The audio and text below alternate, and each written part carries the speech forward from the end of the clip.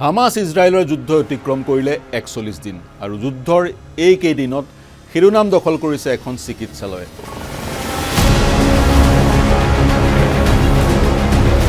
চিকিৎসালয়খন হৈছে গাজা চহৰৰ আল চাইফা চিকিৎসালয়।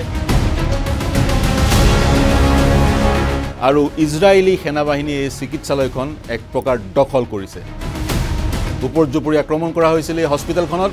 আৰু ইয়াৰ ফলশ্ৰুতিত চল্লিছজন লোকৰ মৃত্যু হৈছিল। সেইসকলে চিকিৎসালয়ত চিকিৎসা সেৱা গ্ৰহণ কৰি আছিল নতুবা চিকিৎসালয়খনত আক্ৰমণৰ সময়ত উপস্থিত আছিলে। সেই মৃত্যু হোৱা লোকসকলৰ ভিতৰত ছয়জন নৱজাতক শিশু আছে।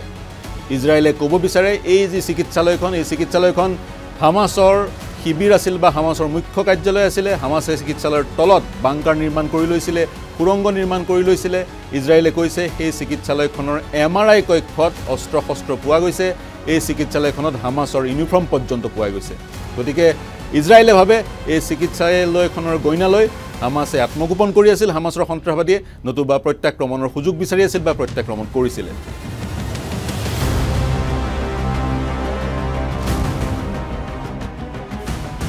ইজৰাইলে লগতে ক'ব বিচাৰে যুদ্ধ অন্ত পৰাৰ পিছতো এটা শক্তিশালী সামৰিক বাহিনী গাজাত থাকিব লাগিব। মাৰ্কিন যুক্তৰাষ্ট্ৰই কিন্তু এই কথা মানি লোৱা নাই। মাৰ্কিন যুক্তৰাষ্ট্ৰই কৈছে যদিহে ইজৰাইলে দখল কৰাৰ বা গাজা ষ্ট্ৰীপত অতিৰিক্তভাৱে থকাৰ পৰিকল্পনা কৰিছে সেয়া এক ডাঙৰ ভুল হ'ব।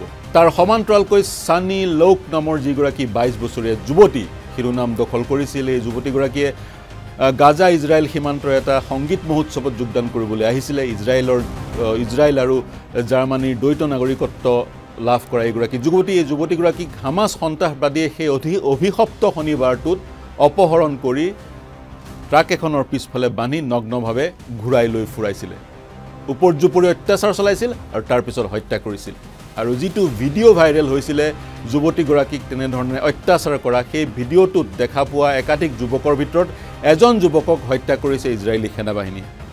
বিভিন্ন ছ'চিয়েল মিডিয়াত এই বাতৰিটোৱে চৰ্চা লাভ কৰিছে আৰু যুৱতীগৰাকীৰ দুৰ্ভগীয়া মাতৃগৰাকীয়েও কৈছে ইজৰাইলী সেনাবাহিনীৰ প্ৰতিনিধিয়ে তেওঁক তেওঁৰ সৈতে যোগাযোগ কৰিছে আৰু তেওঁক জনাইছে যিসকলে তেনেধৰণৰ অত্যাচাৰ চলাইছিল যৌন আতিশায্য চলাইছিলে আৰু ভিডিঅ' চাৰ্কুলেট কৰিছিলে তেওঁলোকৰ এজন সন্ত্ৰাসবাদীক হত্যা কৰা হৈছে।